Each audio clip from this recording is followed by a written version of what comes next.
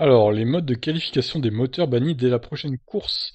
Mercedes pourrait dire adieu à son mode fête. Alors ça, ça sera un coup dur, parce que Mercedes, ils ont une telle avance en qualif, qu'à chaque fois, ils peuvent se permettre de coller 7 à 8 dixièmes au deuxième, voire une seconde des fois.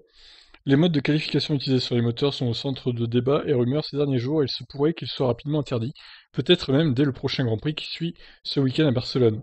Les équipes ont reçu l'information selon laquelle l'interdiction de ces modes, souvent appelés modes fête, pourrait intervenir dès la prochaine course en Belgique dans deux semaines. Celui de Mercedes a été le premier du genre et aujourd'hui le plus efficace puisqu'il est réputé pour être à l'origine d'une grande partie de l'avance que possède l'équipe en qualif.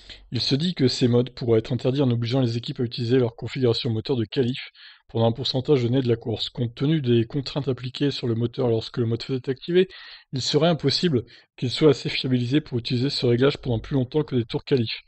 La FIA justifie cette décision dans une lettre adressée aux équipes expliquant que la fédération a de plus en plus de mal à surveiller la légalité de toutes les cartographies moteurs utilisées. Christian Horner avait noté entre les deux courses de Silverstone que ce mode avantageait grandement Mercedes, qui possédait, plus d'une seconde d'avance au tour sur Red Bull en Q3. C'est ce qu'on essaie de comprendre actuellement, avait déclaré le directeur de Red Bull. Mercedes a un rythme impressionnant sur un tour, et on a pu voir les progrès dont ils sont capables entre EL3 et Q1, puis jusqu'à la Q3. Nous cherchons à comprendre d'où vient cette performance. Bah, après, en, e, en EL3 et Q1, peut-être qu'ils ont de l'essence dans la voiture aussi, hein.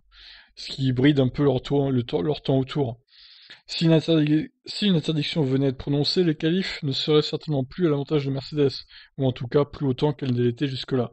Une directive technique plus précise sera envoyée avance pas selon la FIA.